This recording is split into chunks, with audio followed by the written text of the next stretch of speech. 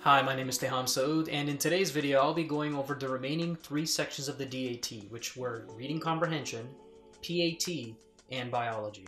If this is your first time to this channel, go ahead and watch this video in which I preface everything and go over the other three sections of the DAT, so go ahead and watch this one, then come back to this one later. Okay, so just like how we divided everything in three steps for the other three sections that we went over in the other video, it's going to be kind of similar for these three, but the reason I put these in a separate video is because it's a little different. So when it comes to studying for the biology section, what I did was use the resource Feralis Biology Notes. Feralis Biology Notes were notes actually shared by a pre-dental student a long, a long time ago, and the way they were compiled was through the usage of the Cliffs AP Biology book. This is a really good resource that a lot of pre-dental students use to study for the DAT because it covers every one of the biology topics that you can possibly be thrown at when it comes to the DAT. And the reason why Feralis biology notes are really good is because they go in order of the book in which they expose you to certain amounts of materials and the way they present it in order is in the perfect order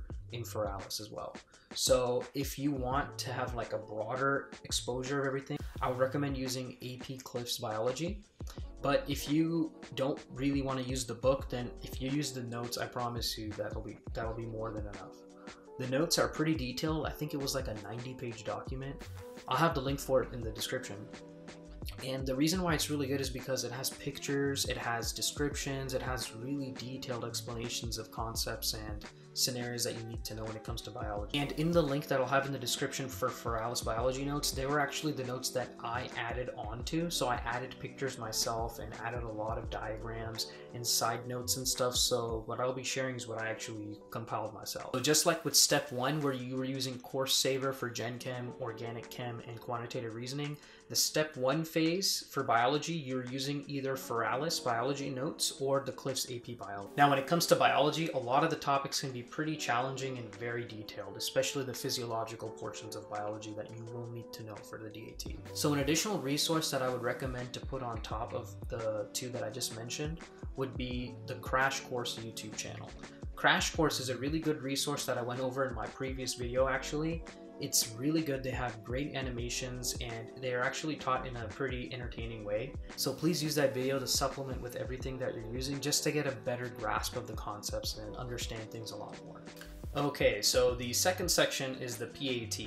The perceptual ability test is a part of the test that nobody really can have much exposure to before you start studying for the DAT. So the resource that I used actually was Crack DAT PAT. And back when I was studying for it, they let you buy the subsections that you needed specifically. But I've heard from some pre-dental students that that's not the case now. So you have to buy the entire package for all of the sections. But the reason why I used the PAT section of CrackDat was because I knew that they were a little easier than what I would be exposed to in practice exams and the DAT. Needed a good solid understanding of how to tackle the problems.